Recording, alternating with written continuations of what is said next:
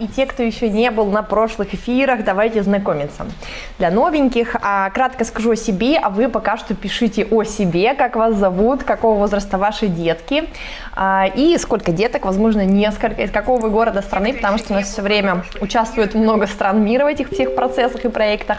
А, и, соответственно, очень много родителей по всему миру учатся и осваивают те навыки, которые важны для каждого ребенка, чтобы ему легко было обучаться, чтобы он развивался хорошо, рос счастливым, уверенным, уверенным, смелым малышом. А, меня зовут Елена Антонюк, я автор проекта «Все дети гении», мама двоих детей. Я искренне верю, что все дети действительно имеют свой а, талант, потенциал, изюминку, сильные стороны, называйте как хотите, но каждый маленький человек, приходя в этот мир, обладает большим, большими-большими возможностями. И вот как раз этот проект о природном развитии этих возможностей, чтобы вы понимали, как и когда, а, что максимально быстро и эффективно развивается, какие направления помогут вашему ребенку стать не только физически, физически хорошо развитым, но и умным, и легко адаптироваться в коллективе, быть общительным.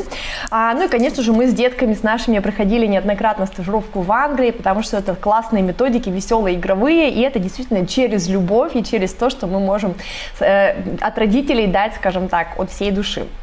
Поэтому добро пожаловать на самый первый проект с практикой, с огромным количеством упражнений, с опытом мировых школ и лучших специалистов 150. А также скажу, что у меня был мой опыт проведения всех этих занятий. После Англии мы приехали с детками домой и поняли, какие должны быть занятия, насколько важно не упускать время, когда дети развиваются физически и сенсорно, и, соответственно, занимались с малышами с момента их рождения. И это очень важно, потому что на самом деле в первые 6 лет жизни у них формируется мозг. Я сегодня вам расскажу об этом немножко более подробно. А, ну и, конечно, если мы этот момент ловим, успеваем его словить, то дальше ребенку намного проще обучаться, он все делает легко, а, ловит на лету, так сказать, и то, что я вижу и на своих детях, да, им легко преодолевать любые сложности. Вот мы недавно спустились с двухкилометровых гор, на которые дети сами заползли в свои 5 и 7 лет. А, ну и, соответственно, все это дает ребенку легче адаптироваться в коллективе, в социуме, общаться, реализовывать свои жизненные планы и свои таланты. Поэтому я искренне считаю, что это очень важным. Я думаю, что все родители хотят, чтобы детки реализовались хорошо. И как это совместить с легким родительством, естественно, с эффективным детством, зная, когда и что развивается. Так, вижу, вижу, вижу. Пишите возраст деток, трое деток, э, класс, э, два и три года, молотыка, стан отлично. Пишите возраст детей, город, страну и так далее. Не стесняйтесь, сегодня у нас будет такой больше интерактив. А, ну и, конечно же, немножко о занятиях в Англии, которые мы проходили. Все это базируется на методах природного развития ребенка, через нашу любовь, через правильную внутреннюю мотивацию, о которой сегодня тоже буду рассказывать. Эмоциональная связь родитель-ребенок, которая играет огромную роль, потому что мы как родители можем вдохновить, дать ребенку направление в любом направлении, да, вектор движения, как надо двигаться. А, приучить его и к самостоятельности, к тому, чтобы ребенок действительно любил процесс познания, любил вообще познавать мир, не был гаджет зависимым, хотя, конечно, они должны понимать, как пользоваться гаджетами. Вот. Ну и нормально развивался с нормальным, классным, ярким детством. Поэтому не путайте раннее развитие, это не то, что вы пытаетесь а, напичкать детей буквами, цифрами сухими знаниями, это все придет, если ваш ребенок будет с правильной стороны развиваться, то есть через физические действия, движения, сенсорный опыт и все остальное. Вот. И на самом деле яркое детство – это когда ребенок может познавать, исследовать, пробовать новое, то есть вовлекаться во все эти процессы, это действительно очень круто. Организуется это очень просто и легко, и вот мне хочется, чтобы вы понимали, что а, качественное родительство, оно а, легкое, то есть оно не должно идти через там какие-то мега усилия, борьбу с ребенком, да, какие-то моменты.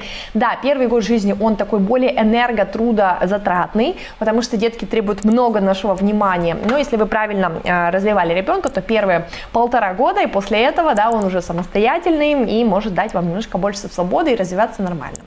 Э, важно, что, например, в тех же а, мировых школах, которые существуют более 30 лет уже по всему миру, у них это все идет через игру, потому что все дети играют через правильную физиологию, да, понимая, на каком этапе развиваются какие этапы мозга, что нужно давать ребенку, какие навыки двигательные он должен отработать, чтобы вовремя переворачиваться, ползти, ходить, и чтобы не было задержек в развитии, потому что очень часто в современных, у современных детей есть определенные сложности, которые, допуская там какие-то промахи, да, ребенок потом не отрабатывает. А, и у вас было предварительных три эфира, которые, в которых кратко я тоже рассказывала об этом, поэтому если вы их еще не смотрели, тоже можете подключаться а, в, личный, а, в личных сообщениях, просто напишите а двоечку вам отправят бесплатные эфиры. Сегодня мы углубимся в этот вопрос, поэтому сегодня будет тоже очень много полезного. А, будем разбираться с тем, что делать, какие направления физического развития. А, раннее развитие это не, том, не о том, как напичкать ребенка, да, заставить. Заставить невозможно ребенка.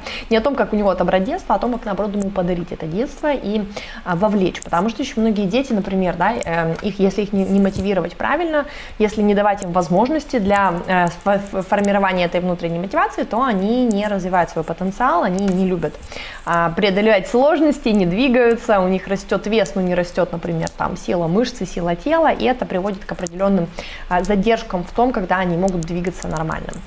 А, все хотят, не все успевают, поэтому сегодня будем разбираться с важными вопросами, потому что на самом деле в рамках этого проекта более 150 самых крутых авторов. Я уже лично это изучаю около 10 лет, прохожу практики э, в мировых школах и сегодня буду этим делиться. В общем, кратко э, о проекте, да, вы можете почитать более детально на YouTube э, канале, посмотреть канал «Все дети гении» на Фейсбуке и на сайте Антони Про есть а, практика, то есть конкретные готовые упражнения, которые вы можете проходить. Если вы захотите, вы всегда можете присоединяться. Сегодня мы будем разбираться с направлениями, что давать, и я вам буду показывать определенные важные вещи, на которые сегодня вы уже можете обращать внимание. Итак, разберемся. А, нейрофизиология, развитие мозга и тела. Что нужно, чтобы развивать ребенка гармонично, без перекосов, когда да, одно направление мы а, не забываем, а все остальные направления, опять же, а, пропускаются. Эмоциональная связь родитель-ребенок, как ее создавать, почему она важна и почему на базе нее будет создаваться все остальное в жизни вашего ребенка. Что мы чаще всего упускаем, какие ошибки приводят к тому, что ребенок затормаживает свой процесс природного развития, который, в принципе, прописан природой и знаете вы о нем или нет. Как отличить природное развитие от спешки и от форсирования событий, конечно же, чего не нужно делать. А, так, дорогие мамы, смотрите, не пишите сюда два в, комментари э, в комментариях, потому что э, в личку надо написать. Э, здесь просто мы вам не сможем напрямую отправить эту ссылочку, там должны быть кликабельные ссылки, поэтому в личку э, аккаунта и вам отправят. Значит, давайте кратко, о чем речь вообще. Развитие ребенка в первые годы жизни, особенно в первый год, да, первые шесть лет, но первый год играет самую большую роль. А, самое стремительное, такого рывка в развитии сенсорных систем, тела, движений, всего остального не будет никогда, да, то есть то, как формируется мозг, это сейчас происходит очень быстро. Соответственно, если вы этот момент не упускаете и даете ребенку на каждом этапе нужные навыки, то ему дальше будет проще обучаться, он будет более скоординированным, ему будет легче общаться, он будет более уверенный, ему легче адаптироваться будет в коллективе, да, то есть э, это все в комплексе дает ребенку больше уверенности, он растет умным, уверенным, сильным, смелым. Все это делается при поддержке родителей. То есть ваше интуитивное материнство, ваша любовь, ваше чувство к ребенку, да, ваш вектор, который вы ему даете, вы просто обладаете огромными возможностями, огромными ресурсами. Вы можете учить ребенка э, нормально развивать самостоятельность, навыки того, как он будет кушать, одеваться и так далее. Вы можете ему помогать создавать эмоциональную связь с вами, а также понимать свои эмоции, контролировать их далее, включается социальное развитие, когда он общается с другими, и, конечно же, духовно-нравственное. Если вы какие-то моменты упускаете, то, опять же, да, формируясь э, по поэтапно, ребенок пропускает какие-то моменты, да, и вот ну, в том же формате развития мозга. Могут быть сложности в развитии общем, развитии речи. Это, кстати, очень серьезная проблема на сегодняшний день. Концентрация внимания, что влияет на то, как ребенок, по сути, будет обучаться. Да? Плохо и сложно обучаться, снижается уверенность, что я могу, да, плохо, тяжело идет процесс обучения, и родители постоянно воюют с ребенком, который якобы ленивый, а на самом деле он не ленивый, у него просто не отработаны базовые вещи, которые должны были быть отработаны в первый год жизни в большей мере, потом до трех лет, тоже такой рывок, и потом до 6. То есть фактически сейчас, имея маленьких детей на руках, у вас самые большие возможности. Чем меньше ребенок, тем больше возможностей у ребенка. А, поэтому то, что важно, что ничего просто так не происходит с ним, мы не выкладываем его на живот, мы не мотивируем, мы не кладем ему правильное пространство, мы ему не даем правильную эмоцию, то ребенок нормально и полноценно получать этот весь опыт не может. То есть в любом случае мы должны эти этапы проходить нормально, поэтапно, да, и через свою любовь а, давать определенные вещи вовремя, потому что иначе потом происходят такие штуки, как нейрокоррекции. Так, почему-то не вижу вот тут. Да, сейчас перезагрузится эфир в Инстаграме. То есть потом происходят такие штуки, как нейрокоррекции, да, двигательные коррекции, когда что-то пошло уже не так, и ребенку нужно как-то наверстать эту ситуацию и вернуть ее в свое русло. Уверенный и целеустремленный человек действительно развивается с маленького возраста. Первый этап целеустремленности формируется в первый месяц жизни. Будут и следующие этапы, но в любом случае первый этап происходит на первом месяце. В общем, суть в том, что ребенку нужно много повторений. Через повторение он учится делать новые вещи и ориентируется на получилось либо не получилось. И тут даже каждая минуточка играет огромную роль. То есть выкладывая ребенка на минуту на живот, мы думаем, что ну что это дает. На самом деле, когда это все в комплексе набирается, тренировка вестибулярки, тренировка там ручек, да, мануальных навыков, тренировка подвижности, все это в комплексе дает такую комплексную нормальную картинку, которая э, играет огромную роль. Да? То есть все раннее развитие, оно составляется из комплекса. Значит, что важно помнить, да, что в первые 6 лет жизни идет активное формирование этапов мозга, нейронных связей, да, э, проходит ребенок 7 стадий развития мозга за этот период времени, и дальше переходит под действие коры головного мозга на всю последующую жизнь, и фактически тот фундамент, который вы заложили, будет базой для следующих надстроек в будущем. А, развивается вестибулярный аппарат, вместе с ним все органы чувств. Первые 6 лет жизни самое быстрое, легкое, эффективное освоение навыков и знаний, потому что ребенок в этот момент просто как губка впитывает все подряд. Это фундамент для правильного, хорошего здоровья, чтобы ребенок меньше болел, чтобы был более крепенький. Это формирование правильных привычек и мотивации внутренней, потому что каждый из нас действует по, под действием внутренней мотивации. Да? Когда мы хотим что-то сделать, у нас есть такое, как э, желание добиться в этом направлении чего-то, и нам нравится эта тематика, то, естественно, мы будем добиваться в этом большего. Если нет этой мотивации внутренней, и нас заставляют, то нам этого не хочется делать. Далее, это важно, потому что ребенка мы приучаем к спорту э, и к тому, чтобы он в дальнейшем имел эту привычку да, нормального здорового образа жизни.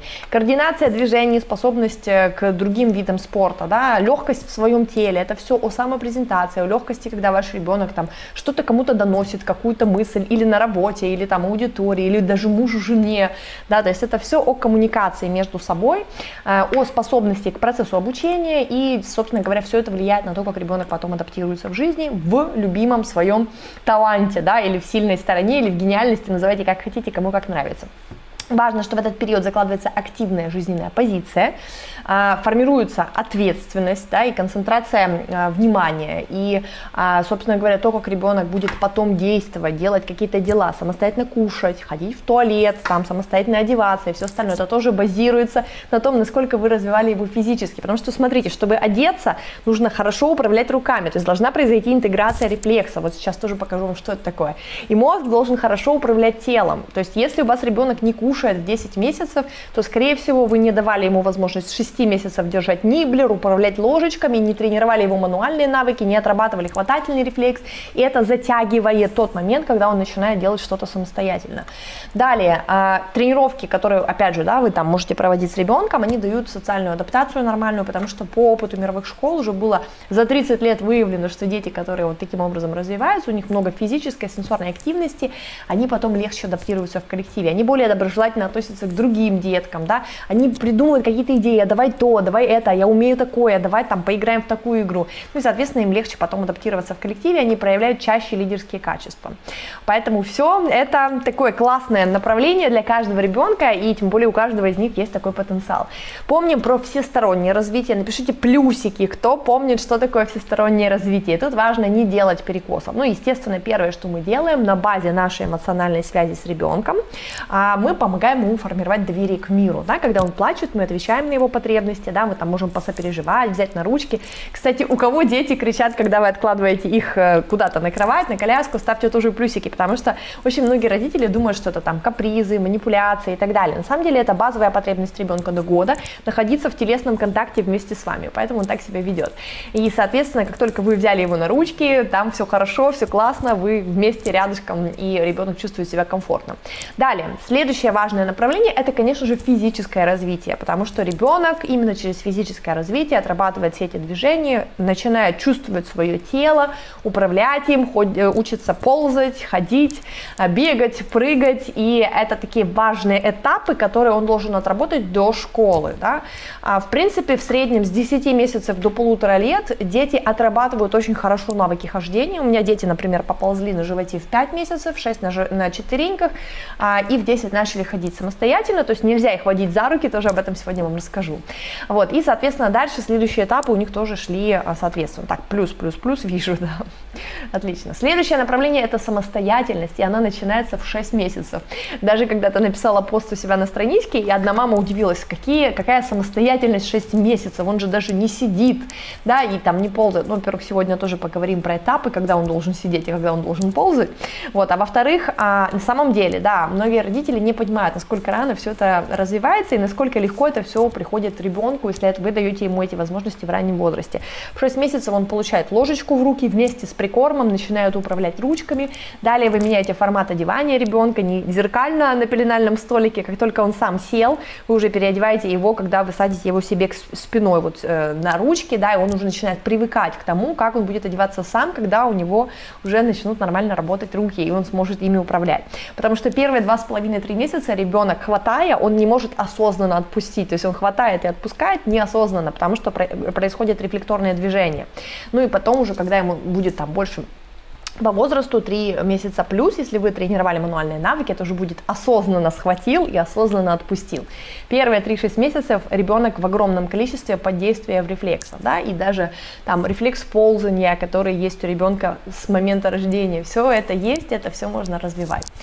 Далее, а, развиваем потихонечку маленькими порциями интеллект, а, но это опять же, да, такая вещь, которую нужно давать порционно, по минуте, по две и через физический опыт, то есть чтобы ребенок много двигался, потому что на самом деле ребенок, он максимально быстро и эффективно развивается только в том случае, если у него есть физический опыт, то есть образно он взял эту книгу, пожевал, постучал, перевернул страничку, пощупал, попробовал на вкус, э, тогда он запомнит быстрее, легче и эффективнее, чем если вы просто ему показываете, знаете, карточки Глена Домана, показываете, показал, еще показал, и пытаемся дать ребенку очень много сухих знаний, при этом усаживаем и обездвиживаем.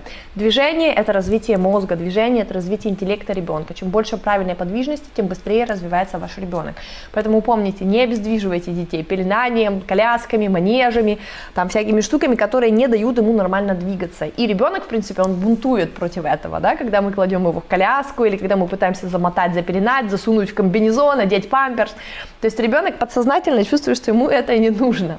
Вот пишите, кто э, в этих направлениях развивает деток, мне интересно просто, какие, можете написать первый, второй, третий, четвертый пункт, например, да, или там первый, третий, ну, в общем, кто какие направления развивает. И помните, что дальше будет еще развитие духовно-нравственное, да, это что такое хорошо, что такое плохо, доброта и все остальные моменты, и социализация, когда ваш ребенок пойдет в садик, да, и наша задача до садика его подготовить максимально круто, чтобы он чувствовал себя уверенно и свободно и спокойно. Значит, касательно фундамента, все время показываю вам эту картинку, потому что для меня она такая понятная, показательная. Вот в зависимости от того, какой фундамент вы заложите в первый год, в первые три года, в первые шесть лет, вот до шести лет у вас есть это время, но самый резкий рывок в первый год жизни, потому что более, больше половины э, мозга сформируется у ребенка в первый год жизни. Мозга того, которым он будет пользоваться всю последующую жизнь. То есть этот период, он очень такой ответственный. Так вот, от того, насколько качественно вы проработаете этот фундамент, какой он будет, или там три кирпича или 100 кирпичей красиво сложенных, ну, образно говоря, да, а от вот этого фундамента будет зависеть, сколько этажей человек сможет надстроить потом, да, когда он идет в школу, обучается и так далее. Вот, то есть, если хороший фундамент, нет лимитов, ребенок развивает свои гениальности, таланты до уровня когда он может действительно себя комфортно чувствовать.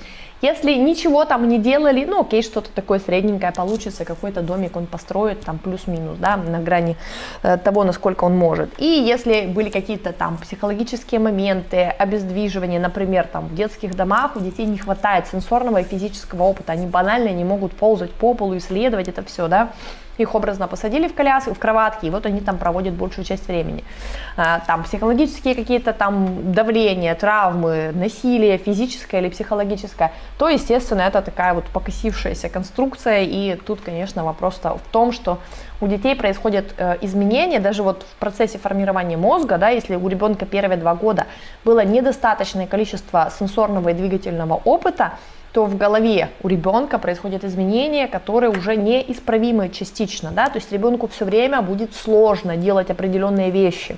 То есть это будет усложнять, утяжелять определенные процессы.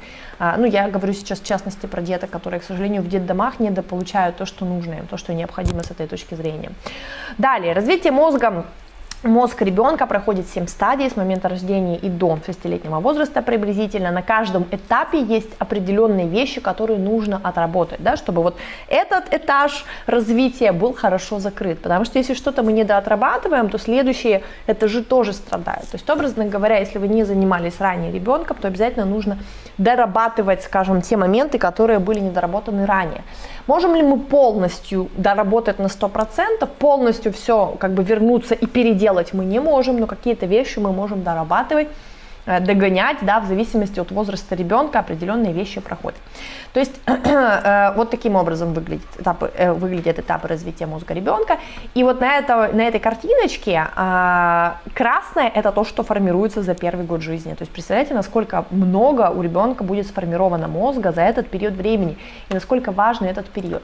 И вот те, кто говорят, что время не идет, никуда не, беж, не бегите, ничего не делайте, никуда не спешите, они не правы. Вы просто берете, смотрите на часы и понимаете, понимаете, что стрелочка крутится.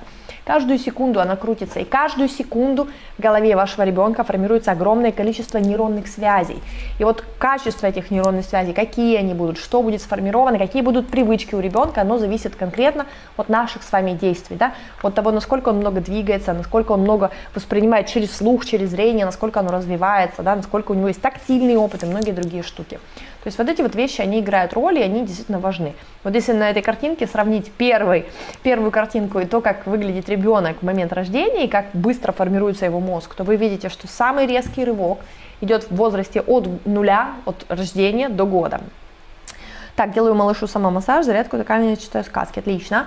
Нужно еще развивать вестибулярку, нужно еще тренировать мануальные навыки, потому что от них зависит еда, от них зависит речь, письмо, мелкая моторика, одевание и все остальное. Ну и, конечно же, от вестибулярки зависят полностью все органы чувств, то, как он будет воспринимать. Знаете, есть люди, которые быстро ловят на лето, а есть люди, которые, о, пока допонял, пока дошло, пока обработал, уже все другое что-то делают, это еще там первое что-то. Значит, вот с такой огромной скоростью формируются нейронные связи в голове ребенка с нуля до 5 лет. В 5 лет все, что было сформировано, вот, кстати, интересно, что в 5 лет у ребенка, у вашего, будет в 3 раза больше нейронных связей, чем у вас. Соответственно, в 5 лет идет чистка мозга. Те нейронные связи, которые не нужны, они просто будут удалены. И вот весь опыт, который получил ваш ребенок за этот период времени, это его багаж. Вот то, что я говорила, да, что э, в интернете в несколько раз меньше нейронных связей, чем у вас в голове. Да, и в интернете в 10 раз меньше нейронных связей, чем в голове вашего ребенка, а у ребенка в 3 раза больше, чем у вас.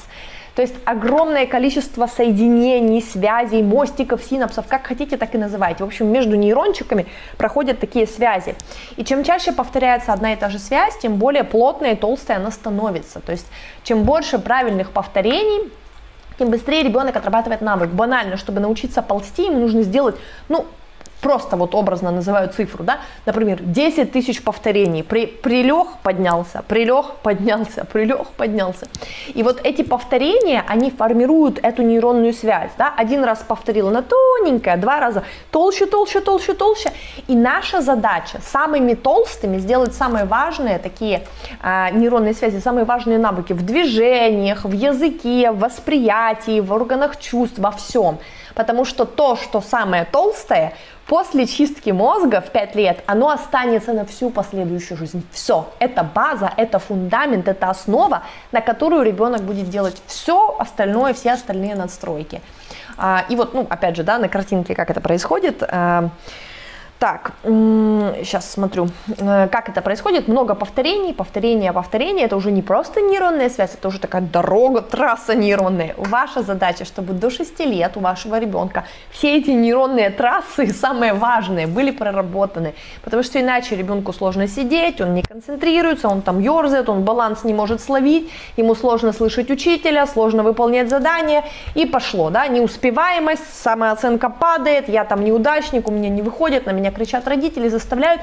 И мы с вами в период карантина четко увидели, что было а, огромное количество детей, которым очень сложно учиться дома с родителями, да, и это просто целая война была, целая трагедия для детей, дистанционное обучение. Поэтому тут важно. Нас записали на массаж, когда ребенку будет 5 месяцев, не поздно ли, может стоит поискать платных спецов. Вам нужно каждый день заниматься вашим ребенком 5 минут, 2 минуты, 3 минуты. Вот понимаете, одна из самых больших проблем родителей, они думают, что можно переложить ответственность на кого-то, на педиатра, на массажиста, на тренера, а, на садик, на школу, да, отдать, и вот оно как бы как-то там решится. Нет. Это работа каждодневная, по одной минуте. Например, вестибулярка тренируется 2 минуты. Много ли это 2 минуты? Это немного. Но понимая, сколько потом проблем от неотработанной вестибулярки, лично я, зная это все, я вообще не ленилась делать. Хотя, ну, все мамы нормальные, они могут быть не в ресурсе, им сложно и так далее. Но просто проблема многих, что они не понимают, что бездействие приводит к последствиям. Поэтому нет, вам не ждать, естественно, 5 месяцев. Вам каждый день делать по 10 минут массажа, по 2 минуты вестибулярки, вестибулярки, по 3 минуты, например, там, подвижности, выкладывать ребенка на живот. Я сейчас вам буду практику давать, то есть, чтобы вы понимали, о чем речь. А, тренировать хватательный рефлекс, тренировать мануальные навыки, это все повлияет на все дальнейшее, то, что происходит с ребенком. А, да, я надеюсь, что запись будет э, э, и получится, потому что, видите, иногда Инстаграм как-то выкидывает из связи, но тем не менее, если что, переподключайтесь. Значит, теперь, интеграция рефлексов. Что это? Кто знает, что такое интеграция рефлексов, ставьте плюсики. Это такая штука, которая помогает мозгу управлять телом. Да? Я очень сильно вам все упрощаю, думаю, что вы понимаете, что все намного сложнее, но вы должны хотя бы приблизительно схематически понимать, что происходит с вашим ребенком, ну и, в принципе, с взрослыми с нами. Так вот, а, чем больше у ребенка правильно правильных связей между мозгом и телом, тем лучше. Глазные мышцы, то, как ребенок фокусируется на чтении, на доске, которая там учитель пишет, да, там на письме, это же все зависит от ближнего зрения, дальнего зрения, от того, насколько мышцы, э, опять же, мозг контролирует все мышцы тела, да, и мозг контролирует те же глазные мышцы, как ты фокусируешься, как ты читаешь, у тебя перескакивают глазки между строчками, или ты нормально сфокусировался, нормально там мог себе, смог себе прочитать то, что необходимо. А тело наше управляется чем? Мозгом. Мозг посылает сигналы, мы там машем руками, мы делаем определенные действия, мы координируем свои движения и все остальное. То есть, образно говоря, ваша задача с ребенком первого года жизни очень много развиваться, заниматься, по коротким подходам, минута, две, три, то есть подходы не длинные, но при этом вы помогаете ему определить, где какая часть тела, как управлять руками, как ногами. Он же до трех месяцев, ну плюс-минус, он не понимает, где какая часть тела, как этим телом управлять, где нога, где рука, и там такое открытие, опа, это моя рука, я могу ей управлять. Представляете, это как аватары, это настолько увлекательно, то есть то, как ребенок вообще в принципе учится и осваивает свое тело. То есть это формирует уверенность. Вот те, кто пишет, как развивать уверенного ребенка, по подвижность, опыт повторения, физические тренировки, которые дают ему чувство своего тела. И от этого зависит, он будет такой робкий, скромный, там, да, какой-то такой стеснительный, или ребенок будет свободный, нормально двигаться, у него не будет каких-то моментов, там, что что-то идет не так и так далее. Дальше. Но опять же, да, немножко тоже о нейронных э, связях, о интеграции рефлексов. То есть, ну, визуально как бы вам э, вот схематично, визуально, плюс-минус вы должны это уже как-то воспринимать, понимать и принимать. Хотя на самом деле все действительно намного более сложно, чем э, схематически это все нарисовано, но тем не менее. 4,5 месяцев сам переворачивается, на живот немного лежит и начинает кричать, плакать, пытается ползти, но не получается как увлечь, чтобы не кричал. Первое, давать ребенку правильные тренировки. Понимаете, если вы не даете ребенку отрабатывать правильные тренировки, то фактически у него нет возможности научиться управлять своим телом. То есть, э, если вы хотите, вы всегда можете присоединяться к практике, если вы не понимаете, когда что развивается, если вы боитесь пропустить какие-то важные этапы, вы можете пройти дальше с нами на, на уже углубленную практику, на которой на каждом месяце жизни есть определенные вещи, которые важно отработать, чтобы потом не было у ребенка задержек в развитии.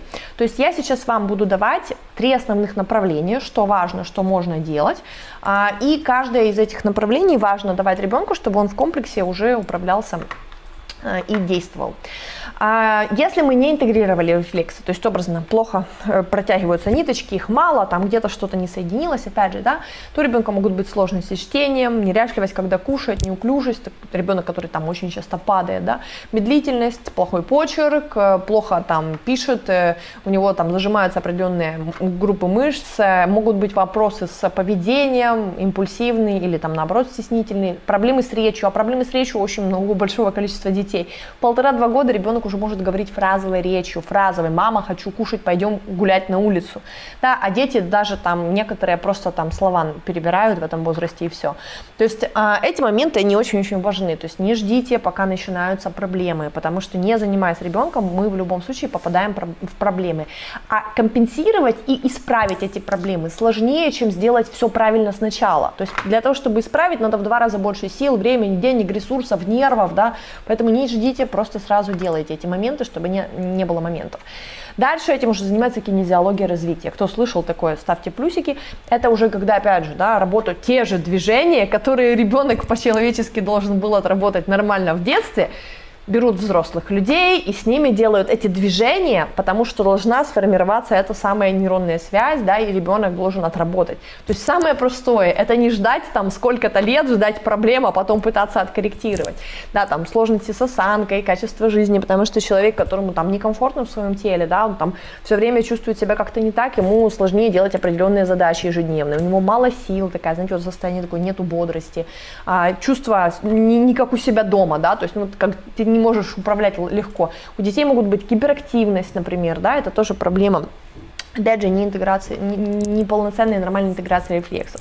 Могут быть моменты с фобиями, контролем реакции, э, эмоций, да, не может себя, скажем так, взять в руки и других людей поддержать. То есть вот эти вот все моменты важны. Для того, чтобы нормально и эффективно проходить все этапы, также мы должны помнить сенситивные периоды а, развития ребенка. Да? В какой-то период у ребенка развивается максимально быстро определенный навык. Если в этот период времени вы даете ребенку практику в этом направлении, то есть проходите этот период правильно, то э, фактически ребенок максимально быстро, эффективно это все схватывает. Если мы тут не прошли и затягиваем туда, вот здесь вот там уже придется потратить намного больше времени, сил и энергии, да, чтобы это опять же все а, отработать. Поэтому тут важно, чтобы в правильном времени, в правильном возрасте правильные вещи делать.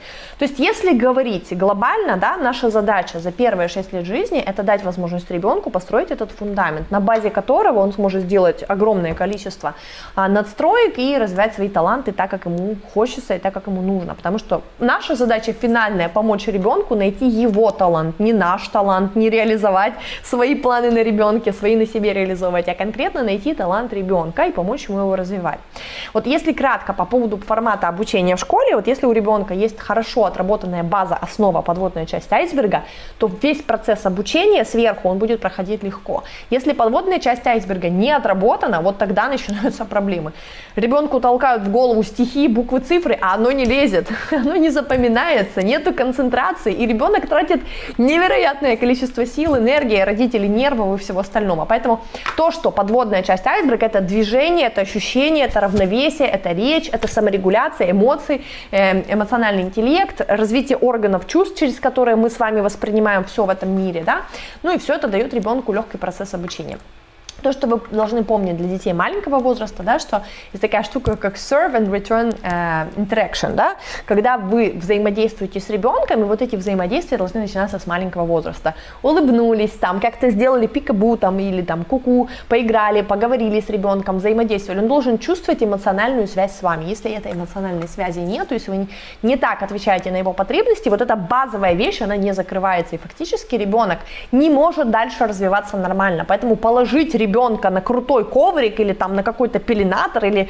качалку или отдать там массажисту и думать, что все окей, это не работает. Ваш ребенок будет кричать, вас звать, вот сколько раз на массаже принесли ребенка, а ребенок истерически орет, потому что он или время ему неправильное подобрали, хочет спать, есть или еще что-то, да, или просто, да, он переживает, что он, э, скажем, в разлуке с мамой и не в контакте с мамой. Поэтому ваша ваше участие в жизни ребенка просто обязательное. Теперь по поводу частых ошибок и будем переходить к практике. Первое. Минимизируйте все ограничители подвижности. Ребенок должен двигаться, он должен свободно себя чувствовать, развивать свою подвижность. То есть манежи долой, да, потому что когда вы ставите манеж, ребенок не ползает, а он подтягивается и становится на ноги. А это плохо. Сейчас буду рассказывать вам об этом.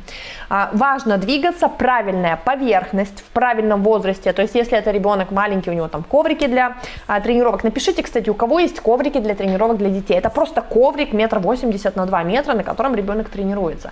Далее, это уже э, краткошерстные коврики, да, это смена одежды. Если одежда неправильная, у ребенка либо разъезжаются ноги, либо он начинает делать самолетики, да, потому что нету практики там поднятия на четвереньки и так далее. То есть очень много разных моментов, которые происходят из-за того, что у ребенка неправильная поверхность, одежда, мотивация, поддержка ваша и так далее.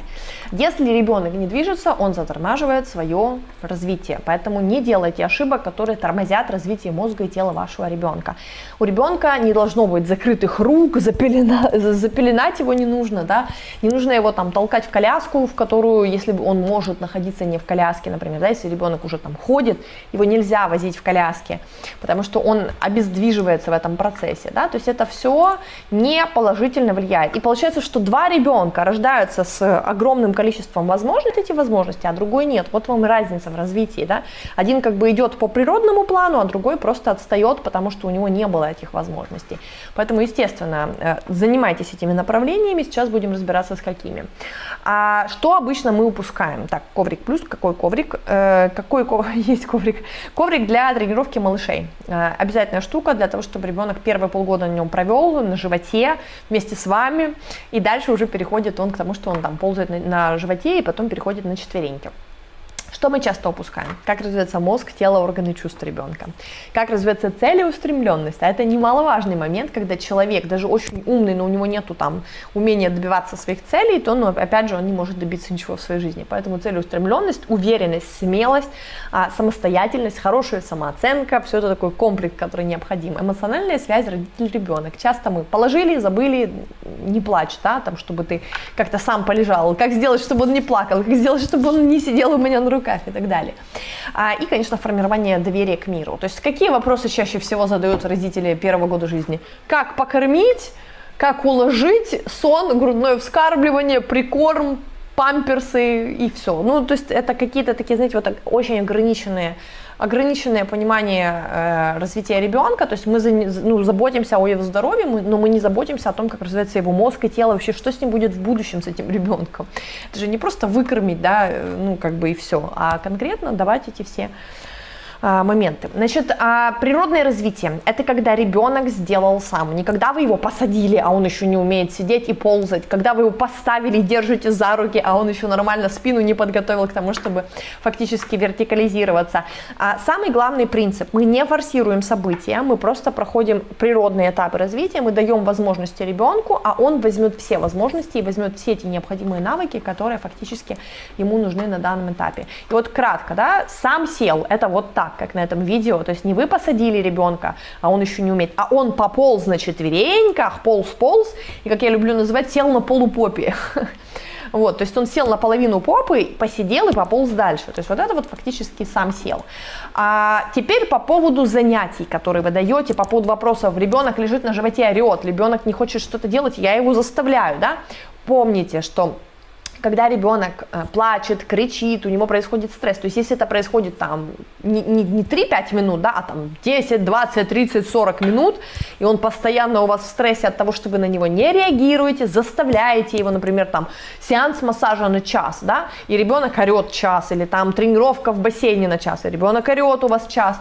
То есть вот такие вот штуки, они тоже формируют стресс, и вам надо по максимуму формировать не нейронные связи стресса, стресс, тревога, переживания, все остальное, а конкретно вам нужно учить ребенка тому, чтобы он развивал подвижность, был, чувствовал вашу поддержку, рядом вы все время, да, ну и дальше, собственно говоря, развивался нормально, эффективно. И это касается и старших детей, не заставляйте их делать что-то, только заигрываем, формируем внутреннюю мотивацию, без которой никуда, и тогда все получится.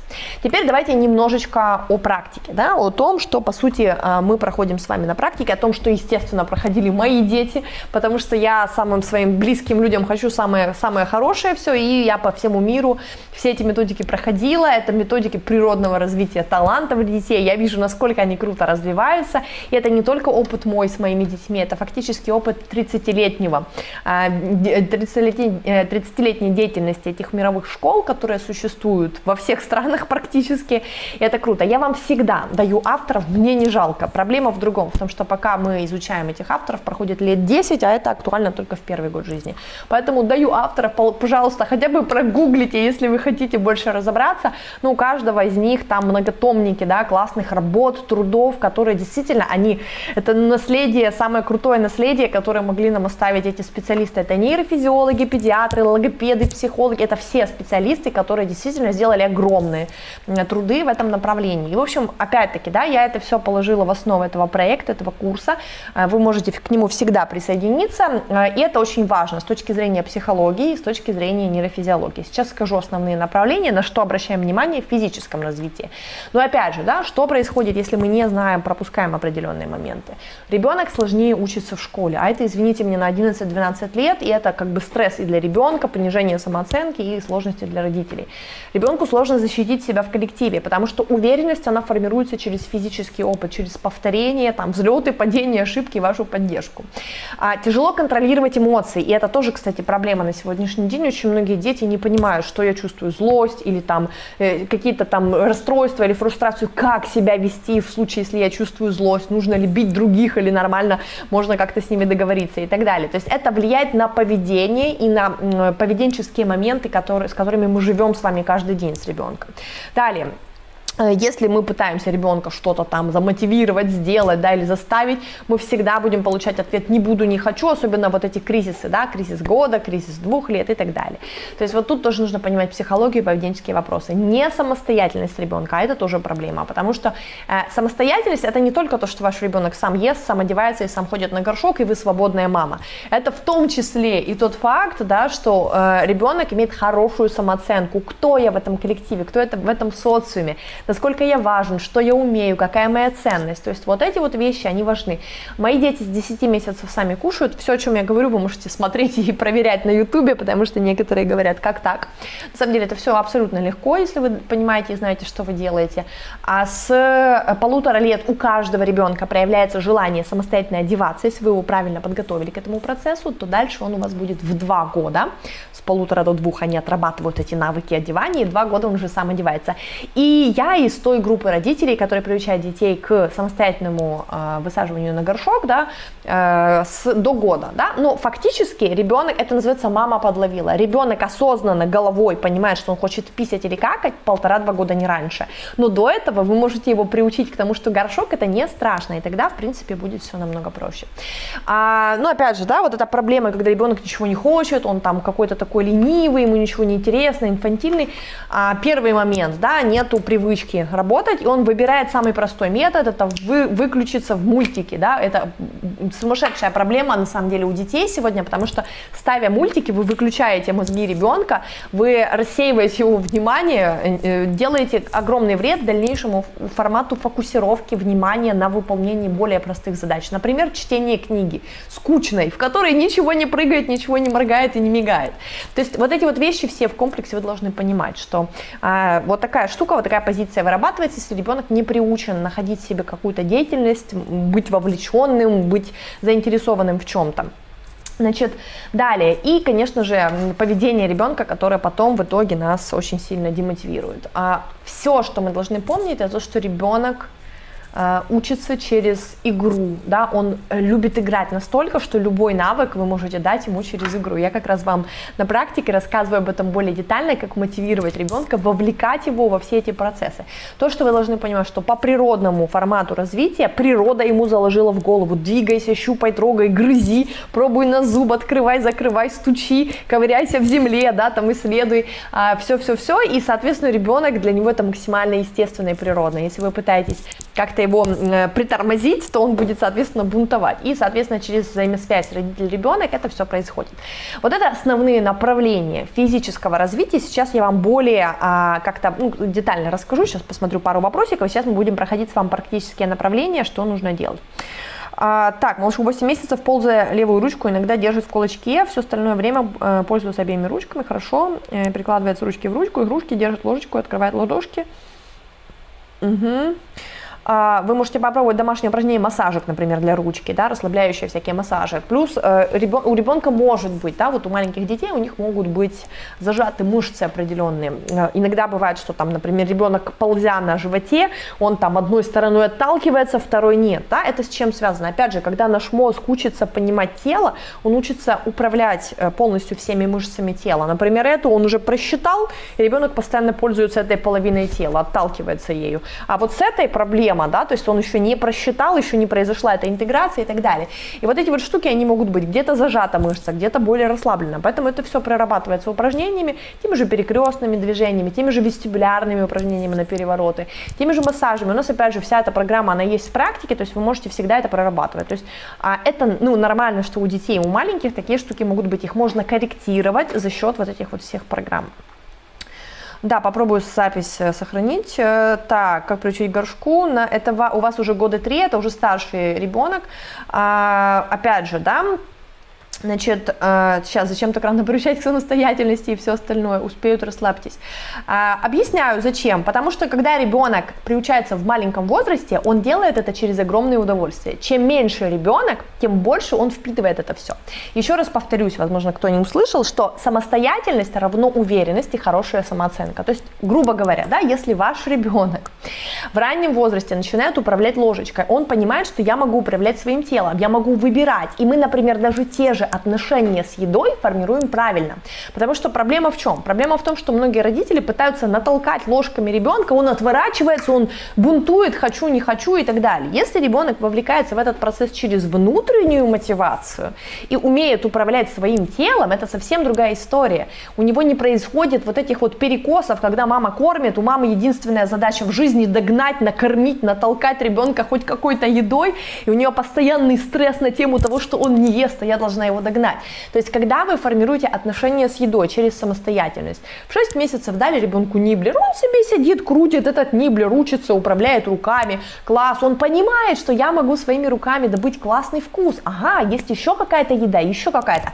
У меня, например, дети уже в год перешли на общий стол. То есть я, муж и дети, они кушают, а, значит, Угу.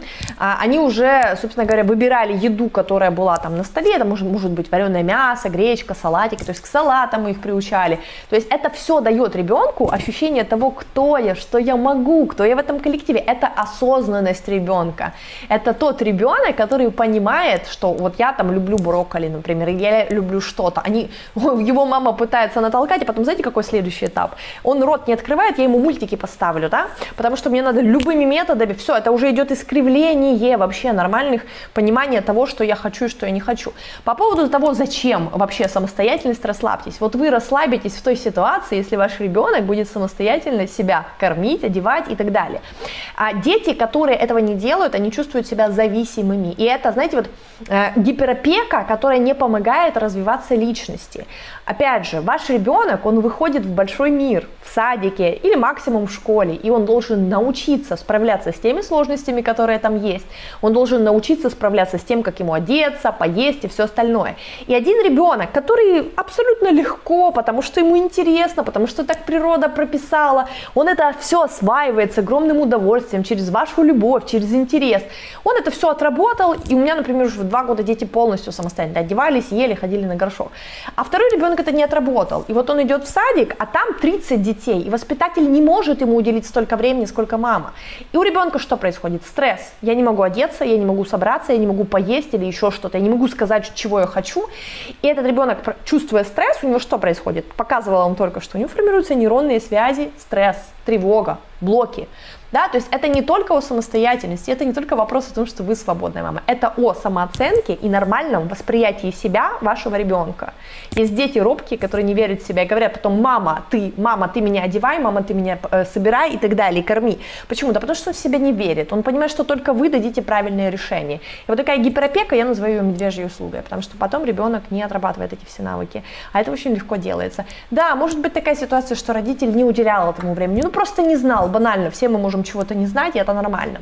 А, тогда нужно давать ребенку отрабатывать эти навыки. Это крайне важно, потому что, ну, вот если вы посмотрите даже на детской площадке, есть дети, которые уверены, есть дети, которые робкие, всего боятся, от мамы не отходят. И вот вам вопрос, зачем куда-то спешить, расслабьтесь. Расслабитесь, когда ваш ребенок будет классно развит, когда ему все легко дается, когда вы кайфуете от того, что у него все это получается.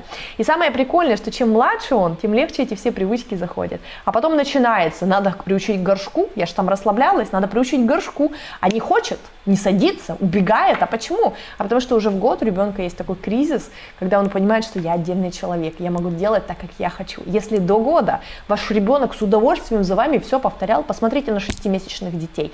Они уже там исследуют полки, там что делает мама, самая крутая игрушка, это там какая-то ложка, черпак, которым мама пользуется, а не там какая-то модная игрушка, которую вы купили.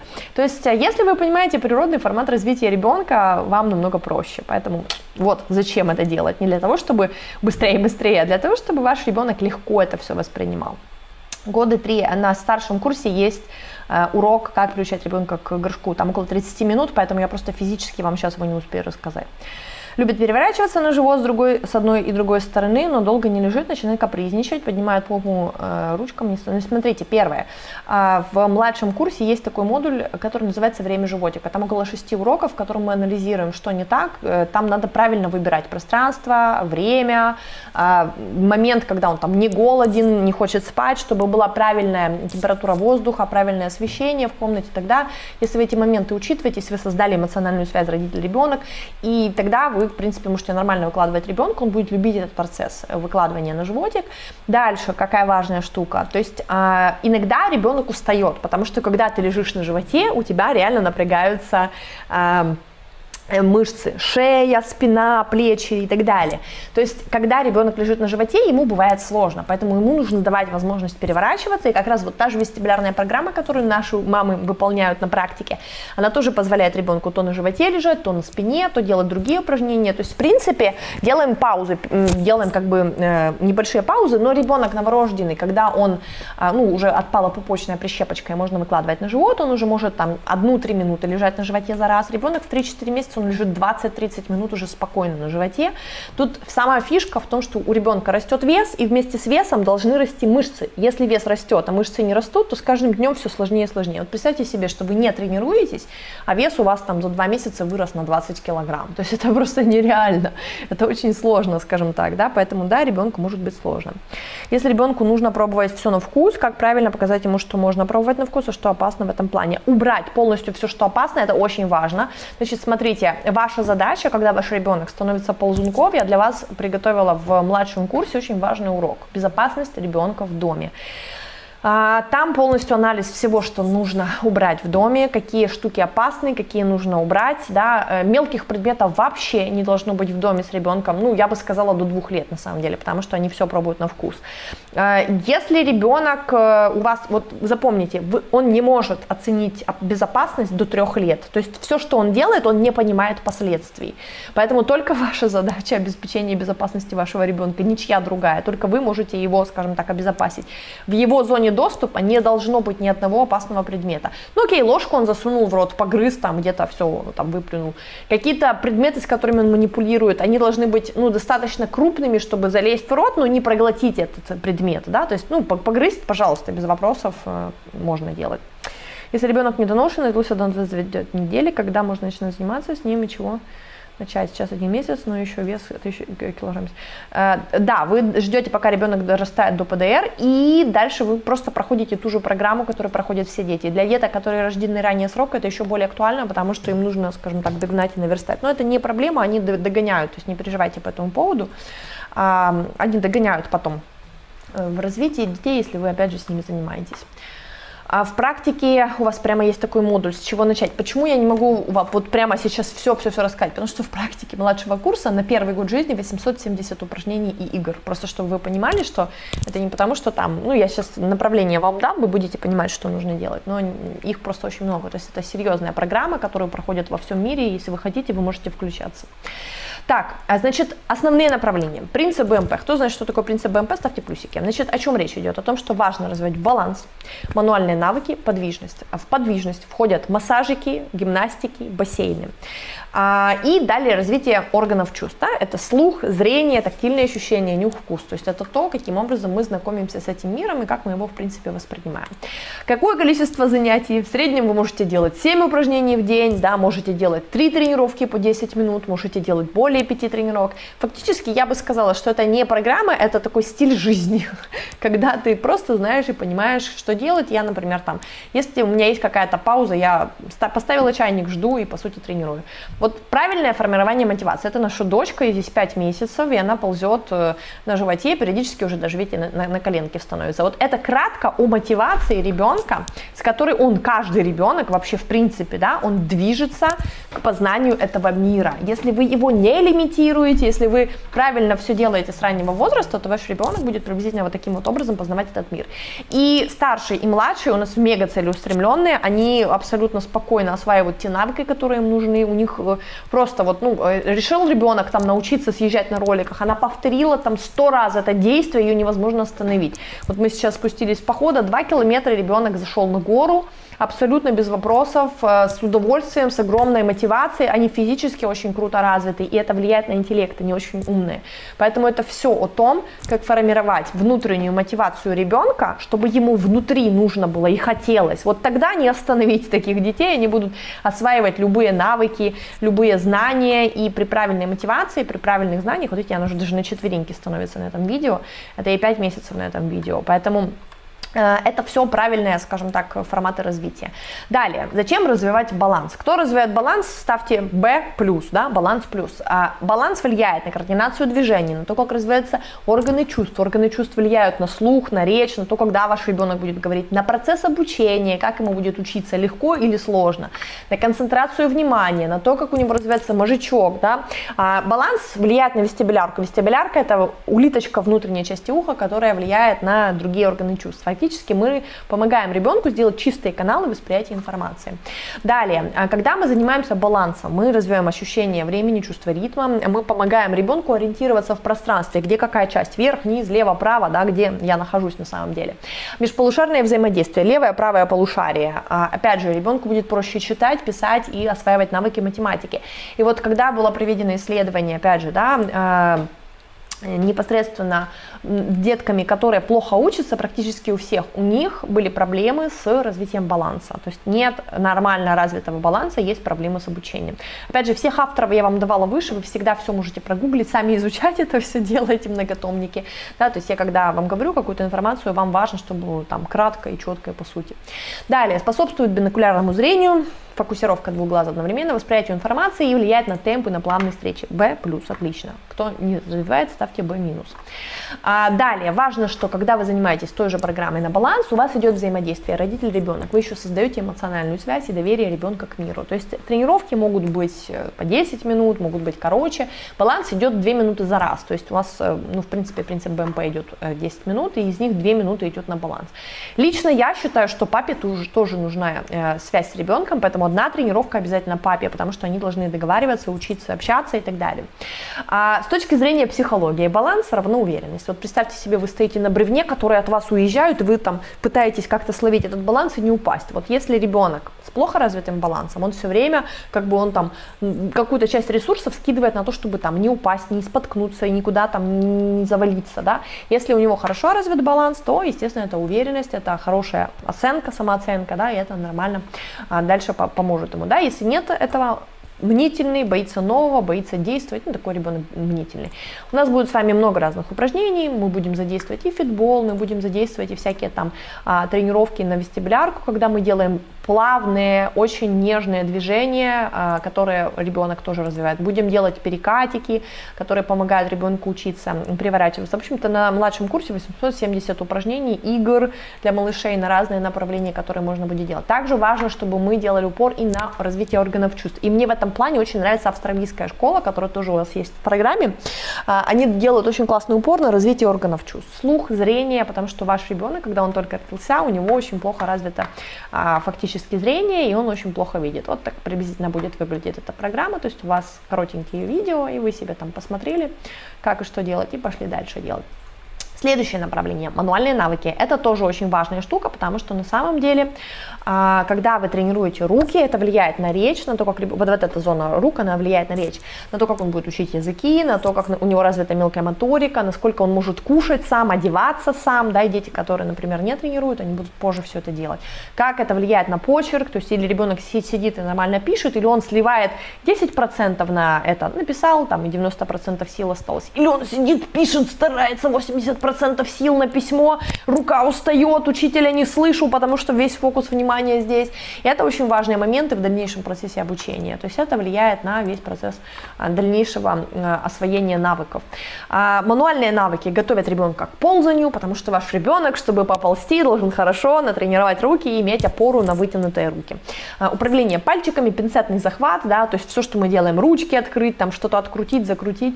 Далее тренировка на турничке, перехват, рукоход ход, письмо, рисование, самостоятельная еда, все это напрямую связано с тем, как мы тренируем руки. Опять же, на практике у вас тоже будет очень много прикольных игр на развитие мануальных навыков с малышами. Это то, что, э, то, по каким программам занимаются многие дети мира, и это очень классно, весело и здорово. А, так, идем дальше. Ой, что-то я нажала не то. Э, также очень многие специалисты говорят о том, что у многих деток не отработан вот этот пинцетный захват, к сожалению, и а, это очень легко отрабатывается, если вы не пропускаете эти этапы. И когда мы еще работаем с руками, что мы делаем? Мы делаем, задействуем два полушария мозга, би-мануальные навыки, две руки. Да, когда они взаимодействуют, формируются новые нейронные связи, да, опять же, новые участки мозга задействуются, мозг больше своих ресурсов использует. Опять же, у ребенка начинается больше концентрации, больше потенциал развивается, и пространственные отношения между предметам. И поэтому на практике тоже буду вам рассказывать, как они тренируются, эти мануальные, бимануальные навыки, да, каким образом а, тренировать ручки ребенка и что делать, чтобы а, речь и все остальное развивалось нормально. Также э, руки влияют на речь, да, и что делать, чтобы у ребенка хорошо развивалась речь и не было задержек речи, которые на самом деле у огромного количества детей сейчас. Я работаю с младшими группами и со старшими. Огромное количество детей в старшем возрасте не говорит ни в полтора, ни в два года, хотя это, в принципе, абсолютно легко.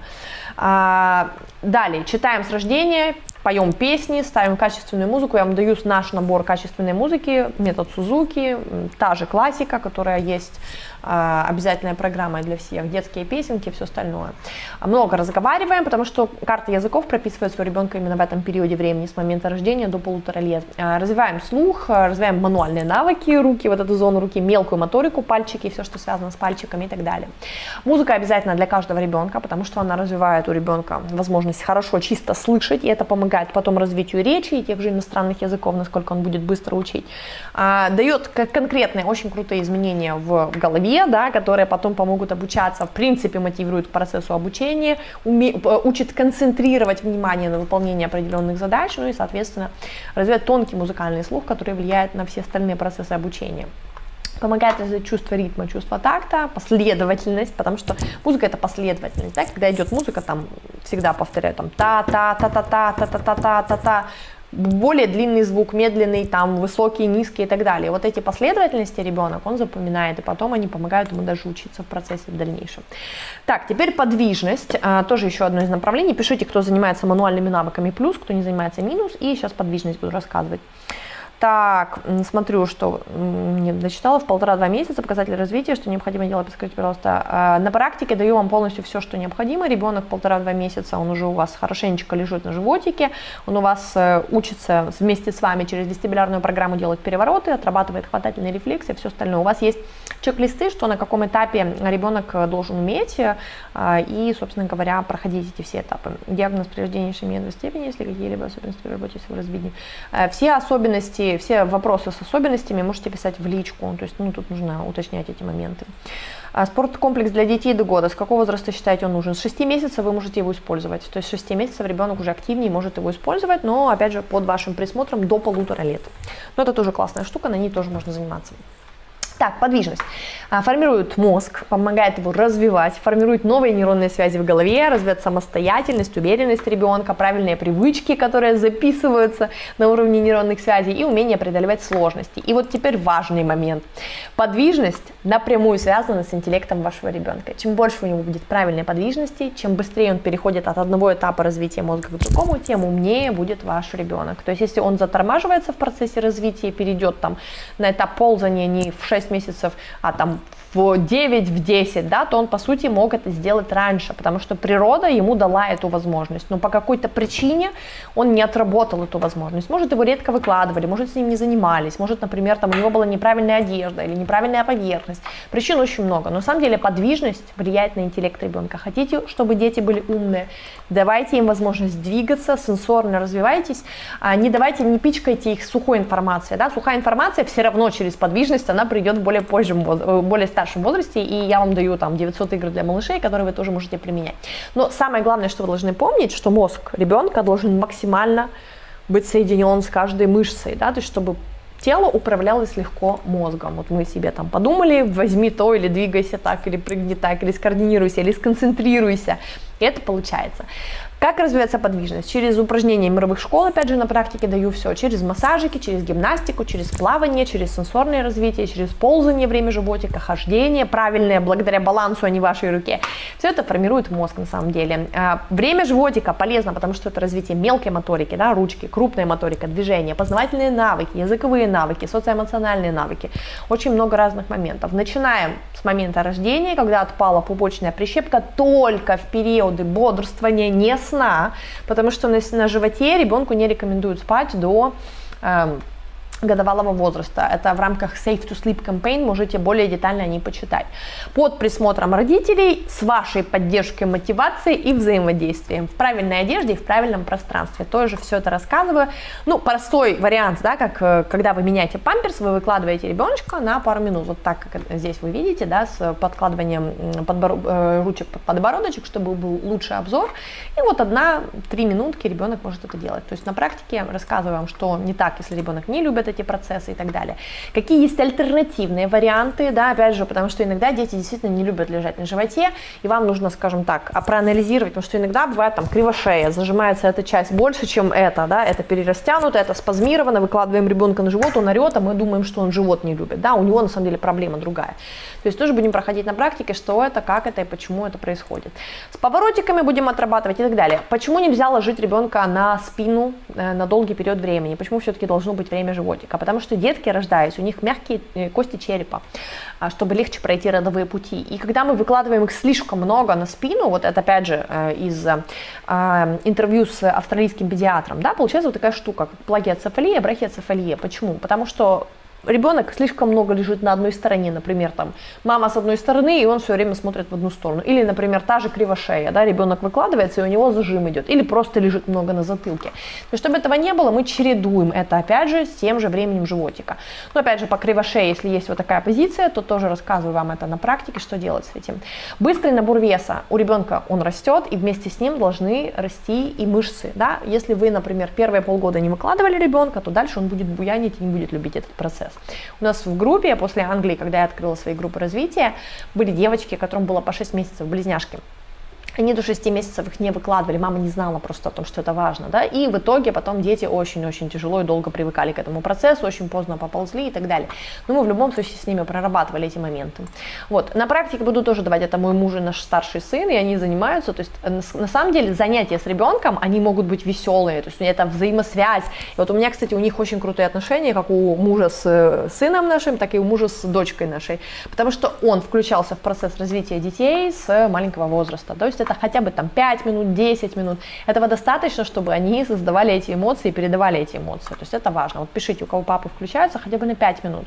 Пишите плюс. Если не включаются, мотивируйте хотя бы на 5 минут. Вот, э, кто спрашивает, что замотивировало моего мужа? Я ему задала вопрос, ты хочешь, чтобы у тебя были умные дети? Он говорит, конечно, кто не хочет, чтобы дети росли умные, особенно папа, сын, чтобы там первый ребенок. Я говорю, все очень просто. Вот тебе нужно 10 минут всего лишь потратить, а, и опять же это дает результат. И вот он когда а, начал действовать, да, когда он там загорелся идеей, замотивировался сначала там какое-то количество месяцев, он просто делал, а потом, когда он увидел обратную связь, что это дает в развитии, он просто все, дальше уже не надо было мотивировать, он уже сам занимался без проблем. Ползание развивает смелость, решительность, ловкость, координацию движений, э, помогает ребеночку побороть страх высоты, конвергенция зрения, да, ближние зрительные поля, дальние, все остальное, школьные навыки легче осваивать, у ребенка координация движений, смелость, он отползает от вас вас на расстоянии, самостоятельность, два полушария мозга, координация движений, тактильные ощущения, он ползет и трогает разные поверхности, пространственная ориентация, где какая часть, да, где кухня, где комната, где все остальное. Ребенок развивает настойчивость, целеустремленность, умение подчинить себе свое тело, да, управлять телом.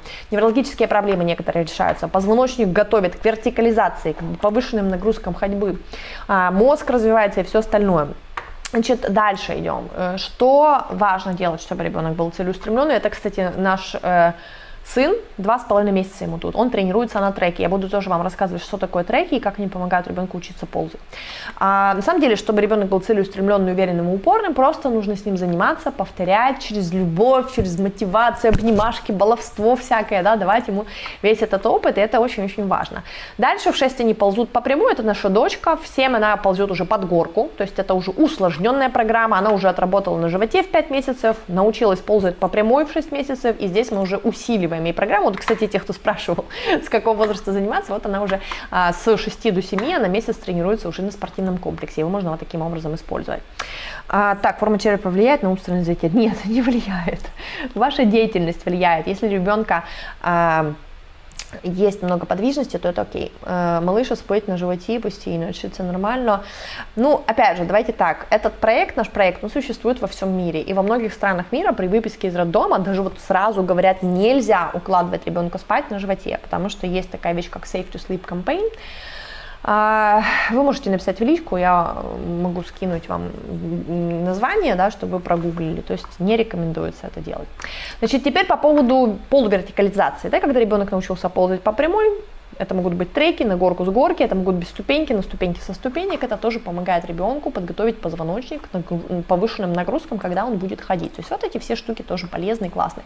Когда научился ползать, играем, балуемся. Это вот опять же мой муж с сыном, как они балуются, как он мотивирует его ползать, как это весело, классно, здорово происходит, как они передают свои эмоции друг другу. И вы знаете, э, нормальное развитие ребенка это же не только там то, что он технически может сделать. Это реально ваша связь с ним, это то, как он доверяет вам вам не доверяет, насколько он справляется со сложностями, есть ли у него ваша поддержка и все остальное. То есть, как вы видите, ребенка очень просто замотивировать на любую деятельность, неважно, что вы делаете, или ползаете, или делаете какие-то другие действия. А, так, как дети учатся ползать? Первые три месяца много времени на животе, 3-6 перевороты, ползание, 6 плюс, ползание на четвереньках. Э, почему ребенок не ползет? Мало времени на животе, неправильное пространство, неправильная одежда, мотивация, нет правильной поддержки и э, другие моменты, которые могут притормаживать все эти процессы. Далее, э, на практике что даю? У вас есть с чего начать и разделение на 4 группы. 0,3 месяца, 3,6, 6,9, 9, 12. И в каждом из них есть определенная программа, да, там Опять же, пассивная программа на равновесие, подвижность, мануальные навыки, вот все, что необходимо в этом возрасте. Что еще рекомендую? Рекомендую еще делать упражнения в ванной на развитие подвижности. Это уже наша дочка. И опять же, э, вы можете просто делать упражнения над водой, если кто-то хочет осваивать навыки подныривания, можно и подныривание тоже. Да? Но если вам страшно, вы просто делаете упражнения в воде, при этом ребенок развивает свои навыки подвижности. У меня водные дети, они очень любят воду, они плавают с детства, а, они ныряют без проблем, это развивает дыхание, дыхание влияет на речь, на все остальное. То есть это классная штука. А, плавание развивает дыхание, выносливость, насыщает мозг кислородом, оно помогает подвижности и бегу и ходьбе и всем остальным навыкам. Вот теперь по поводу хождения. Хочу просто вам показать, чего не нужно делать. Очень часто вы в парке можете увидеть такую картину, когда мама или папа ведут ребенка за руки, поднимая их очень высоко, к ушам и так далее.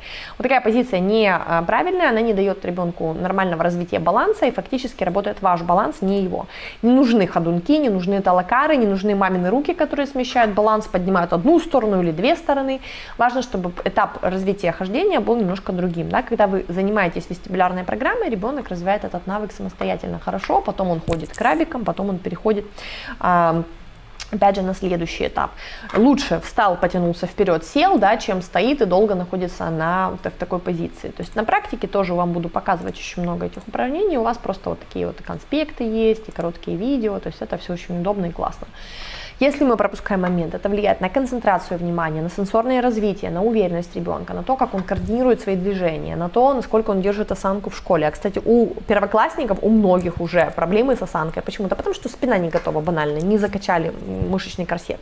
Далее, задержка речи. Это очень частая почему-то проблема на данный момент. Родители просто пролетают мимо этих всех моментов, хотя, в принципе, это абсолютно просто, чтобы у ребенка не было задержек в развитии речи. А, психическое развитие могут быть определенные моменты, нарушение зрительной моторной координации, то есть это опять же, да, насколько развито зрение, ближнее зрение развивается через ползание в том числе, да, и параллельно там австралийская школа дает очень много прикольных игр. Сенсорное развитие это тот опыт, который ребенок должен получить у вас в раннем возрасте, и да, все дети все равно что-то щупают, что-то нюхают, то есть сказать, что они вообще не развиваются нельзя, естественно, они в пространстве у вас находятся. Но сенсорное развитие одно другому рознь, да, и слух у всех разный, и зрение у всех разное, поэтому есть определенные моменты, которые помогают ребенку усилить процесс этого развития. А, и тут нужно давать ребенку много этого опыта. Вот, например, зрение. Ваш ребенок новорожденный, он видит все, как вот в левой картиночке, это все плывет перед глазами, ничего невозможно увидеть. Поэтому зрение мы тоже будем с вами развивать на практике, через движение, через фокусировку э, на ближних предметах, там всякие такие штучки тоже буду вам давать.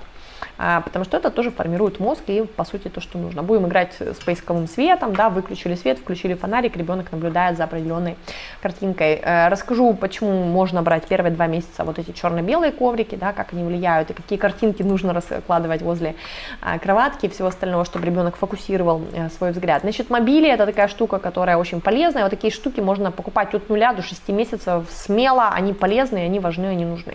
Активное чтение тоже будет начинаться у вас с 6 месяцев плюс. Что такое активное чтение? Это работа с книжечками и приучение ребенка к этому процессу. Одна-две минуты, сенсорные, трогаем, щупаем, пробуем, бьем и все остальное, то есть это тоже очень полезно один и один, первый раз идем в бассейн поздно. Ну, детки, которые пошли в бассейн до 8 месяцев, они пройдут этот этап очень легко, быстро и воспринимают все как так и должно быть. Да? Фактически все, что вы дали ребенку в первый год жизни, в любых навыках, зайдет вот так и должно быть. Дышать нормально, плавать нормально, садиться на горшок нормально. То есть, ну, для ребенка это просто нормально. Не через напряги, не через там какие-то сложности, ну, просто нормально. А, ребенок боится лежать на, в воде на спине, как его приучить? А, да, дети не любят это, эту позицию, потому что она такая позиция беспомощности. Выкладываем ребенка себе на плечо, так, куколки моей тут нету, не смогу показать. В общем, вкладываем на плечо ребенка и ножками передвигаем. Ну, ребенок находится своей головой рядом с вашей головой, то есть там есть определенные моменты. 400 месяца не заглядывает в рот и держит э, уже заглядывает в рот и держит столовую ложку. Отлично, уже можно начинать, начинать прикорм. Но прикорм рекомендуется начинать с а, 6 месяцев, такой полноценный. Вы можете дать ниблер ребенку немножко туда какой-то еды сложить. То есть это не полноценный прикорм, он там сок может высосать немножко из этого ниблера. Но это такая тренировка рук и приучение ребенка к следующим этапам. Так, с активным чтением сказала, да, дальше будем разбираться на практике с развитием слуха. Это тоже очень важная штука, я вам все, все время вам показываю. У меня такой целый набор всяких штук, которые нужно использовать для развития развитие слуха, поэтому я своим деткам это все время давала, тоже вам буду давать э, эту информацию на практике. Дальше, тактильные ощущения, тоже важное направление. Ребенок должен ощущать части тела, а для этого мы можем прикасаться к нему через массаж, через гимнастику, через тактильные упражнения, игры и все остальное. У вас будет 900 игр для малышей, там вы сможете выбрать те, которые вам нравятся. Массажи тоже пару минут, как минимум, это важная вещь. У вас на практике тоже будет эта программа массажей, потому что они действительно формируют э, необходимые а, ощущения ребенком частей тела и все остального. Далее, э, ну, самое важное, что оно должно быть в комплексе, понимаете, потому что кто-то делает только массаж, но при этом забывает про вестибулярку, не тренирует мануальные навыки и все остальное. То есть оно должно быть реально в комплексе, поэтому у вас будут такие короткие упражнения, в которых я вам буду показывать, как это все происходит. И самостоятельность. Невероятно важный момент. Вот кто-то у нас сегодня прокомментировал, куда мы спешим, зачем вообще нужно развивать самостоятельность, вырастет в 10 лет, начнет сам кушать. Э, на самом деле э, это не совсем правильный подход, потому что ребенок, он будет понижать свою самооценку, он будет чувствовать себя зависимым, а не независимым. Зависимым от мамы, без мамы я ничего не могу. А, мама, ты, мама, одевай, мама, я не пойду, мама, я возле твоей ноги стою и так далее. А, самостоятельность повышает уверенность ребенка, дает возможности тренировать физические навыки, опять же, дает возможность э, э, развивать навыки самообслуживания. Я сам ем, я сам там делаю определенные вещи. Независимость. Чем больше у ребенка физопыта, тем быстрее он переходит к этапам самостоятельности. И самостоятельность связана также с мануальными навыками. 6 месяцев плаваем, но уже 10 месяцев сам не садится, у опоры стоит норма. А ребенок ползает или нет? Ребенок после ползания начинает сам садиться. То есть если у ребенка а, была правильная подвижность в раннем возрасте, первые 6 месяцев, он у вас 6 месяцев ползет на четвереньках и присаживается на полупопе. Если ребенок не пополз, то, естественно, вам нужно а, развивать эти навыки. То есть плохо, если он не отползал 3,5-5 месяцев и стал на, начинает становиться. Он должен подготовить позвоночник к повышенным нагрузкам, когда он стоит. Если он лежал, лежал, а потом сразу встал, это плохо, он не прошел промежуточный этап, нагрузка на спину. Поэтому обязательно подключайтесь к практике. Есть практика 6 месяцев, 6 лет, там все, что вам необходимо. Немножко нужно раньше будет вернуться на несколько этапов и отработать то, что пропущено. А, не, не мотивируйте ребенка, который не отползал 3,5-5 месяцев, не мотивируйте его стоять, пожалуйста, потому что это нагрузка. Значит, идем дальше. А, ну, опять же, мои дети тоже с 10 месяцев не кушают самостоятельно, то есть я вам буду давать на практике игры, которые развивают самостоятельность. Ну, опять же, я повторяюсь, что практика – это полный комплекс, это вот те, то гармоничное развитие, которое фактически дает вашему ребенку те направления, которые важны. Это без перекосов. Это не только интеллектуальное знание пичкаем, а все остальное в пролете, да, и мы забываем эти моменты. Это конкретно комплекс. Ваш ребенок физически развит, он умен, он самостоятелен. А, и да, это важный навык. То есть я прям планировала по 40 минут занятия самостоятельности, когда ребенок сидит и учится одеваться, учится кушать, потому что это важно. Это настолько важно, что вы себе просто не представляете. А, как лучше показывать малышу карточки Домана, если я вам тоже говорила об этом немножко раньше, что э, лучше дать ребенку больше задействовать сенсорных систем, физический опыт, постучал, да, там уши, там как собачка говорит или как э, курочка говорит, да, посмотреть, пощупать, потрогать. То есть чем больше систем задействованность э, органов чувств, тем лучше, тем круче, тем быстрее развивается ребенок. Ну, вы можете показывать карточки Глена Домана с 10 месяцев, я вам на практике даю наши наборы, и я вам рассказываю, как мы их адаптировали. То есть я не показывала вот эти карточки Глена Домана, я делала тематические недели. Это задействует тело ребенка, это очень важно. И, естественно, все бытовые вопросы вместе. Дорогие мамы, 6 месяцев плюс, все, ваш ребенок самостоятелен, он помогает вам сортировать вещи на полке, выделите ему полку, которую он будет вываливать и складывать, вываливать и складывать. Поставьте ограничители на шкаф, чтобы ребенок руки не прищемил. Вместе с ребенком относитесь в стиралку вещи, со стиралки, разбирайте эти все вещи, это приучает и формирует мотивацию. Не хочет дома кушать прикорм, пюрешки, кашки только на улице, на прогулке норма. Э, как заинтересовать ребенка кушать прикорм. Э, в старшем, ой, в младшем курсе, извините, есть модуль самостоятельность и э, еда. Там есть эта информация, потому что, ну, не быстрый ответ, не на один час. Два годика ребенок ничего не кушает, что мне делать? А, то же самое в старшем курсе ответы на вопросы по поводу еды. А, правильно выставляете правила, да, то есть если ребенок потом наедается печеньем и конфеток, и при этом вы не кормите его супом, то это неправильно. То есть есть определенные принципы, как ребенка мотивировать кушать нормальную еду. Когда ребенок будет хорошо кушать? Когда он хорошо сбросил физическую энергию и хорошенечко, например, потренировался, да, ну и когда он не наелся какой-то гадости, сладости по дороге, да, там соки, сладости или перекусики, которые просто перебивают банальный аппетит. Поэтому такие вот моменты я в старшем курсе вам тоже это все рассказываю. Это старший курс от года до 6. Социальная адаптация вашего ребенка, то есть то, как он будет в коллективе адаптироваться, будут ли его обижать, или он будет себя чувствовать уверенно и нормально, она зависит от физического развития, от эмоционального развития и от интеллектуального развития. Поэтому если вы готовите ребенка в 3 года в садик, это важный этап на самом деле, чтобы договориться, научиться справляться со сложностями, то вам важно подготовить ребенка физически, эмоционально и интеллектуально. А, естественно, социальная адаптация, она связана со всеми этими направлениями. И то, что вы должны помнить, что комплексное развитие это когда вы не просто ребенку даете хлеб и воду, да, там в питании, и не просто там вы что-то там, он там где-то лежит на животе, все достаточно. Это когда вы понимаете, что на каждом этапе развития мозга есть обязательные вещи, не проходя которые ребенок потом недополучает нужные навыки. Так, на сегодня основные моменты рассказала. Сейчас расскажу, пишите, насколько было полезно от меня до десяточки. Сейчас расскажу, что дальше мы делаем. Мы с вами прошли 5%, 95% еще идем в программе. Поэтому, если вы тот родитель, который чувствует, что это вы, ваша тема, и вы хотите заниматься ребенком, ставьте плюсики. Сейчас кратко скажу, что идем, куда идем дальше, что делаем. Со всеми остальными я прощаюсь. Не забывайте, что дети развиваются очень быстро и пропускаете этапы, мы в любом случае возвращаемся попытке их как-то наверстать.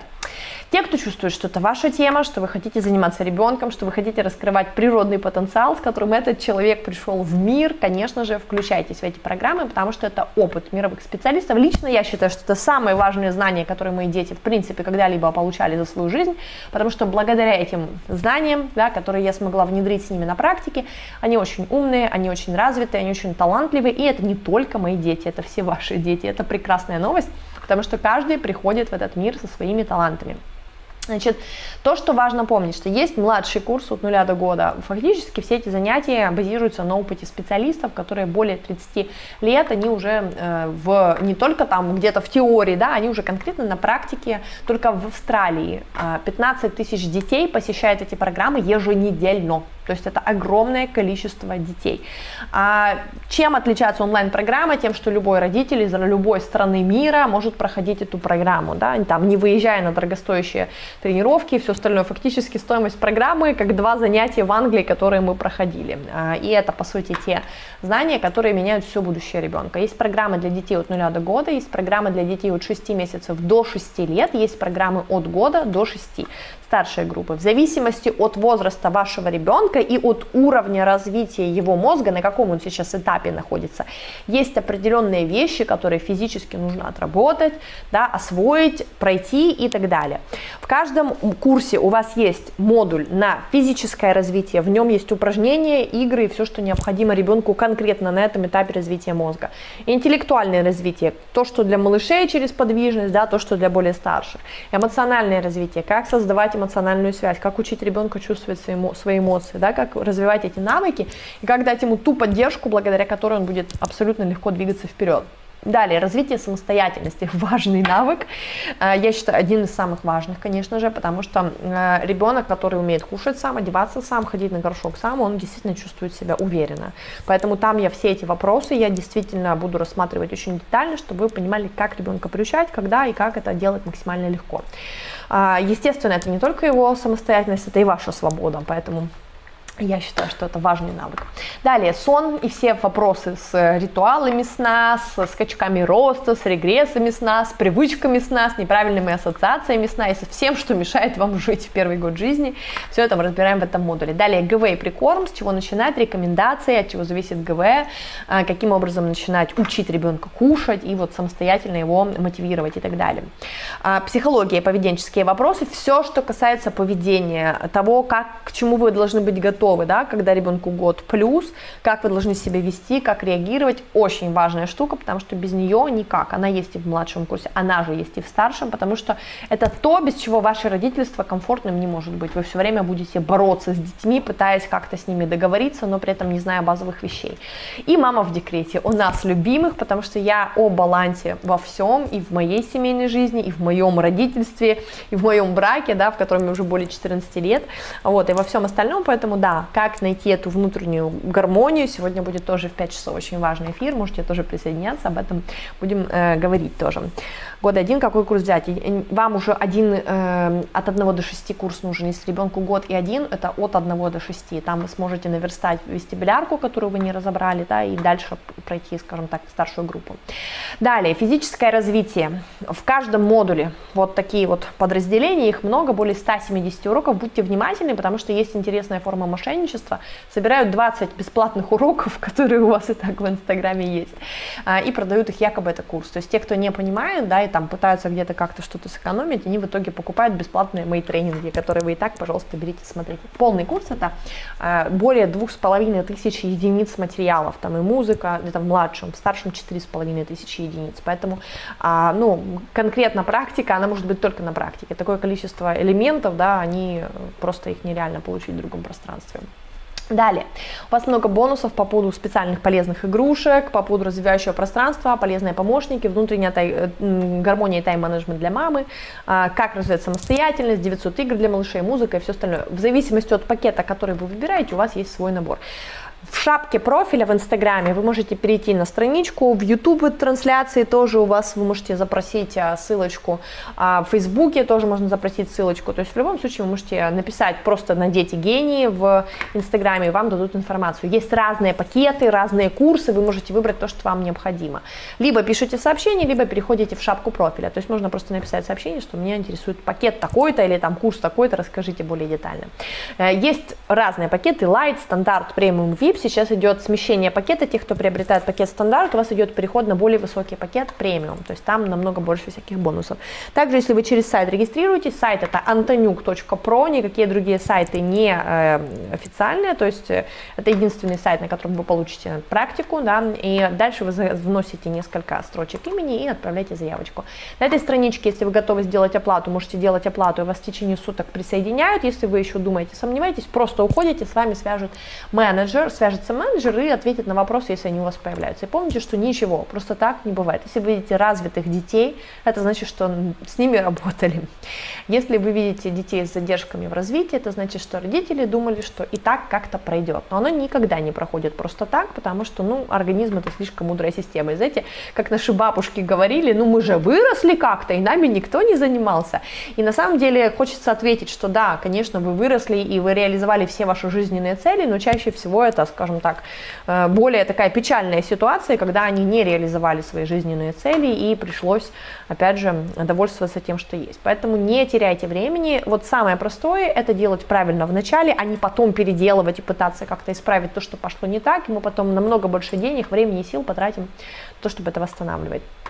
Э, также у нас подарок самым быстрым. Я всегда мотивирую тех, кто хочет заниматься, учиться, поэтому у вас есть один практикум на выбор. Или это там, например, о спорте, или о счастливых отношениях, или о самореализации мамы, или о оптимизации быта. И также те, кто за сутки присоединяется, у вас мега крутой полноценный курс о гармонии в жизни. Это то, что на самом деле я использую каждый день, благодаря чему я добиваюсь своих жизненных целей, почему я смогла создать ту семью, о которой я мечтала, да, почему мои дети хорошо развиваются, почему я успеваю многие вещи. Здесь есть определенные принципы, которыми я просто готова с вами делиться. Это полноценный курс. Те, кто за сутки присоединяются, получают этот полноценный курс. И, конечно же, два бесплатных месяца лета, пока вы можете заниматься. Это бесплатные месяцы. Если вы присоединяетесь к практике, у вас будет вот этот бонус в виде дополнительных двух бесплатных месяцев. Также все, кто а, беременные и кто ожидает, я очень мотивирую таких мам, потому что а, они могут подготовиться до рождения ребенка и не упускать важные моменты. Поэтому весь период до беременности беременности. Если вы покупаете курс и присоединяетесь к нему, весь период до беременности у вас бесплатно. Отсчет идет с момента рождения ребенка, у вас идет доступ на год. А что нужно? Интернет, телефон или компьютер. Доступ у вас будет к обучающей платформе на протяжении года. Мы с вами вместе, мы с вами прорабатываем все моменты. Я разбираюсь с вами с теми моментами, которые у вас есть сложные, они появляются все время. А у нас есть сессии вопрос-ответ. У вас на протяжении года они будут каждый месяц. А, ну и, конечно же, дополнительные материалы, которые у вас есть на платформе. У нас более 7 тысяч человек уже на данный момент прошли эти практики во всем мире, и это прекрасно, потому что есть огромное количество людей, детей, семей, которые полностью перевернули свое восприятие нормального, правильного развития ребенка. Это мега круто. Эти дети, они будут менять будущее всего нашего мира в лучшую сторону. Я в это искренне верю, я вижу, насколько это все круто, и вы тоже можете почитать отзывы, и самое главное, что это не просто теория, теория, делай так, а вот как в книжке написано, да, я сама не знаю, к чему приведет. Это конкретная практика, потому что мы знаем, к чему это приводит, мы сами занимаемся с детьми, это мега круто, и это экономит огромное количество денег для вас и дает возможность любому ребенку в любой стране мира, в любом городе получать те знания, от которых зависит его будущее. Фактически это важно. А, вот те, есть те, кто говорит, сама найду в интернете, я на самом деле вам даю 5% практики всегда и на ютубе, и на инстаграме, везде я вам даю, но если мы говорим о практике, то а, ее невозможно дать вот в таком формате, даже когда я какие-то кусочки вам там выкладываю где-то в инстаграме, да, это невозможно увидеть в комплексе, поэтому практика только на практике, да, и будьте внимательны, чтобы вы не покупались на каких-то мошенников, которые вам продают бесплатные тренинги. Ну, а родители не знают, сколько должно быть. Они спрашивают, там, 20. Ну, окей, 20. В общем-то, такая штука, к сожалению. 8 а, месяцев какой курс? 6 месяцев, 6 лет. А, знаете, почему этот курс был создан? Потому что на самом деле мы выяснили, что есть родители, которые ждут 6 месяцев до 12, чтобы присоединиться к старшему курсу. И что получается? Пропускают вот этот период времени, когда формируется чуть ли не 30% мозга. И потом у них есть возможность сформировать 10. Да? То есть какой смысл самое эффективное время пропускать, если ты можешь потом, скажем так, получить больше. И мы создали этот смежный курс. Фактически, почему такое разделение? А, я вам показывала, что есть 7 стадий развития мозга, и на каждой стадии развития мозга есть то, что ребенок отрабатывает. Например, там первая до двух с половиной месяцев, вторая до семи месяцев, третья до 12 месяцев, там полтора года, три года, шесть лет. И вот на каждом этапе есть своя программа. То есть, когда вы подключаетесь к программе 0-12 месяцев, у вас есть вся программа на 12 месяцев. Если вы подключаетесь к программе 6 месяцев, 6 лет, вы проходите здесь полгода и здесь фактически от года до 6. То есть у вас э, идет такое подключение. Поэтому, соответственно, 6 месяцев, 6 лет. Почему 6 месяцев? Да потому что фактически часто детям по паспорту им там 8 или 9, а по факту развития 6. Да, и вот получается, что если родители не занимались ранее, то, скорее всего, ребенок ну, вот где-то там не отработал еще минимум 2-3 месяца. Вот, поэтому, да, это самый оптимальный э, курс э, ну, вот вашей ситуации.